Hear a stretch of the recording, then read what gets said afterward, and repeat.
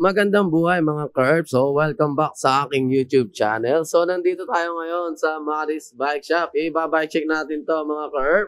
Ang pinakamurang 29er hydraulic budget mill mountain bike. Ayan. So, wala na tayong intro-intro mga Curb. Diretso tayo. Bike checkin natin to. Ayan o. So, napakamura na to Curb. Sasabihin ko yan mamaya pagkatapos ng ating pag babike check. Ayan. So, ang timbang nga pala nitong mountain bike na to, mga ka-herb, is 15.7 kilogram. Ayan, o, kita niyo naman. So, basta mga budget mountain bike, naglalaro lang sa 15 to 16 kilograms. At ang ating size ay small. Ang ating frame, mga ka-herb, 15.5 inches yan.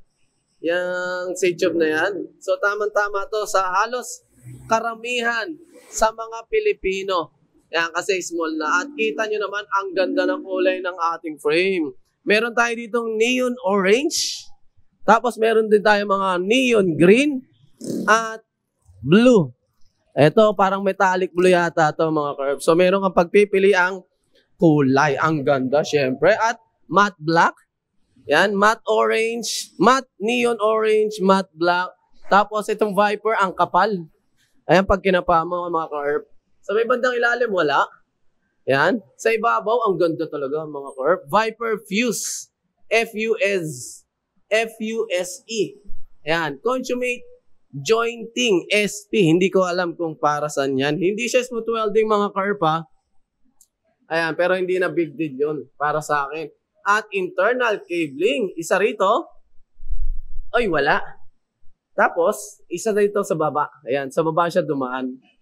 Yan, doon. At dito lumabas yung internal cabling sa ibabaw. So, isa lang ang internal cabling natin. Dito may uod ng pagkaka-welding. Dito may uod ng pagkaka-welding pa rin. Ayan. Yun, di ba? Ang ganda nitong water decals nito sa may bandang ibabaw mga karpo. At malapad to, then pakited. Kitted talaga mga karpo. Kitted. Ito. Mm. At ang seat stay natin, bladed pabaliktad nasa loob na mayroong bridge. Tapos, pro configuration. Wow! Pro configuration eh, no? Yan. Uy, may langis pa. Tapos, ang gara ng ano rito, sa may bandang dropout, parang flat to. Tapos, syempre, napapalitan ng kanyang drop, drop out. Ayan, matingnan natin masabing drop bar. Yan. At advanced trail system. Yun, no? Advanced. Pwede siguro suta sa trail. Tapos kung nakikita nyo mga carpo, meron siya doon maliliit na water decals. Ang ganda. Siyempre, meron yung bridge. At wala siyang, wala siyang lalagyanan ng FD cable. So, habang buhay na tong uh, single. Ayan. Hindi mo na pwedeng lagyan ng FD. Kaya siguro, isa lang yung internal niya rito. Dito, oh. Yan. So, para sa akin, pwede kong lagyan ng butas dito. May nabibili naman sa Shopee nung ano eh, yung nilalagay sa butas para maging internal cabling. Yan o, ang ganda, di ba? Napakasimple ng ating design. Made from aluminum 6061 nga pala ang ating frame ha, mga carb. Siyempre dito sa harapan may Viper na logo. Para siyang sticker pero pintura yan mga carb. 120mm ang haba ng ating head tube. At tapered na siya. Ayan, tapered. Di ba? Ganda oh. Ang suspension fork natin mga ka-herb, may manual lockout at preload dito sa kabila. Bakal yan mga ka-herb, bakal, bakal, bakal, kal. Yan, sa mga nagbabakal dyan. 115mm ang ating stanchion. Ang steerer tube niya mga ka-herb, ay straight. So, ginamitan to ng adapter para makabit dito sa tapered head tube. Yan. At ang ating hubs, ang hubs natin bakal, ball bearing, quick release. Baka lang ating spokes 2, 4, 6, 8, 10, 12, 14, 16, 18. 36 na spokes, 36 holes din yung ating hub. So siguro kaya umabot to ng 15.7 kg dahil baka lang ating uh, suspension at baka lang ating hubs. Ayan o. At pero ang ang ang ang ang ang ang ang, ang, ang rims natin ay aluminum na double wall na mayroong sticker na Viper MKB. Yan, no? At ang gulong natin mga carp, wala akong makitang tatak. Wala talaga. Pero yung mga ganito, parang ano to, eh, kenda. Pa-comment naman ako mga carp. Wala talaga eh. Pero ang size niya is 20, se- 29 by 2.10 yung size niya. Kita niyo naman oh, ang liliit, ang cute ng knobs. Di ba? Ang cute, ang cute, ang cute ng gulong. Oh, dito ganun pa rin, baka lang ating hubs na quick release. Ah, 36 holes na hubs, tapos baka lang ating spokes. Double wall alloy or aluminum rims na may sticker na Viper. Tapos ang gulong niya is 29 by 2. Point, ah 10 ba yun o 2.20? Nakalimutan na natin. 2.10. Yan. Eh, tamang-tama sa ano to? Sa long long ride. Magaang yung gulong na to. Hmm, di ba? At syempre, oy, ang cogs natin ay threaded type. 1, 2, 3, 4, 5, 6, 7, 8. 8 speed. Okay to, mga ka-ERP. Pwede-pwede na to. O, di ba? 13 by, ilan to? 36? Tama ba tayo? Walang nakalagay mga ka-ERP. eh. Pero, ah, karamihan nito is 13. Ayan. Na 2, 4, 6, 8. Pwede na to mga ka-ERP. Sensa MX-8. Yan. So, palagay ko, itong RD na to ay pwede to hanggang 50. So, medyo malalim pa siya. eh. Yan. Pa-comment naman mga carb kung kayo nakakita ng Sensa MX-8 na kinaya yung 50. Pag hindi kinaya, madali lang naman yun. Lalagay lang kayo rito ng goat link. Yan. Siyempre, ang ating kadena ay FFC. FFC. Hindi ko alam kung ano yung FFC na yung mga carb. Pa-comment naman din sa inyo ha. Ito, ang ating crankset. Ah, yung crank arm niya mga carb bakal, Meron lang yung plastic nito, nakatago lang yan, plastic yan. Tapos ang chainring natin ay bakal din, 34 teeth. Tingnan natin kung removable chainring. Ah, hindi. Hindi removable ang chainring niya, mga earth. Naka-fix. Naka-fix to. So, kung gusto mo magpalit ng chainring, magpapalit ka ng buo ng crank set. Kaya, square taper dyan, mga ka-earth. May naka-cover lang na plastic, tatanggalin mo to.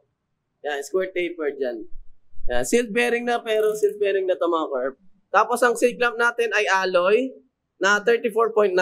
Seat post natin, 31.6 ang taba, made from bakal.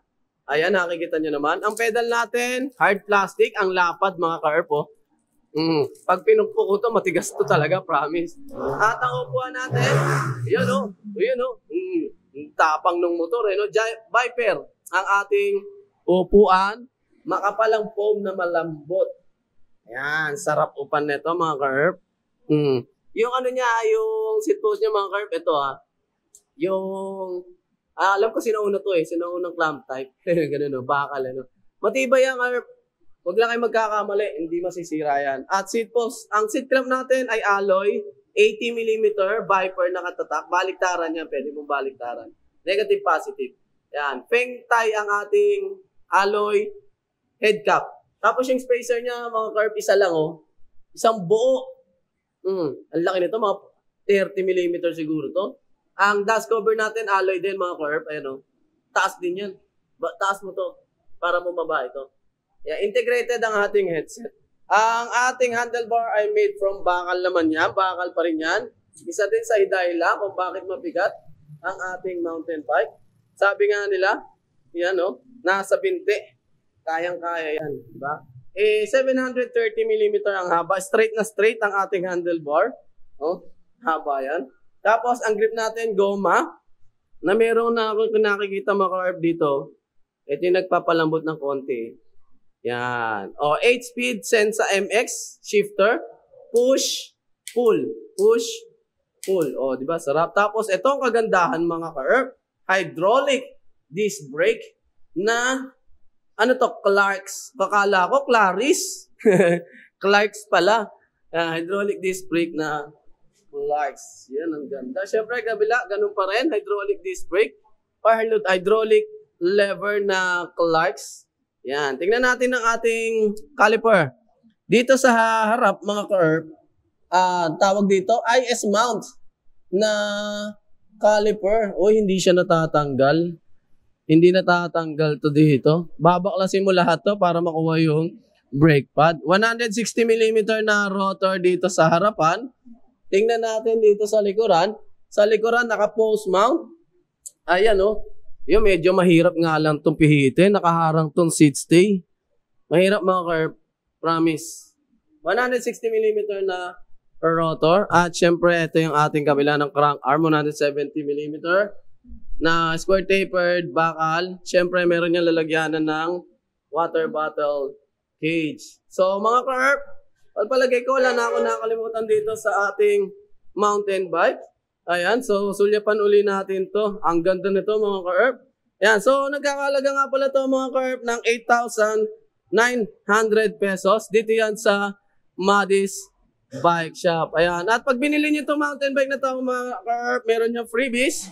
Ang freebies niya ay helmet, tapos water bottle cage, at chain guard. Ayun, so tatlo yung freebies. So marami pa sila rito mga freebies mga ka-ERP. Ayan, so marami silang uh, built bikes, mountain bikes, road bike, at syempre meron sila ditong project bikes, mga ka-ERP. Ayan o. Oh. So ilalagay ko na lang sa description ang kanilang contact number, Google Map, at Facebook link sa mga gustong mag-avail ng kanilang mountain bike. So hanggang dito na lang mga ka ang ating video. Syempre huwag kalimutan pindutin ang subscribe button road to 9,000. 9,000 tayo. Maraming salamat sa panonood. Kita-kits sa susunod na video. Paalam. Bye-bye.